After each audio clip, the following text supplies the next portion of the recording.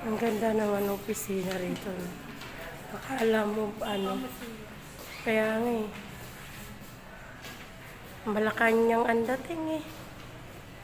Oh, ang ganda.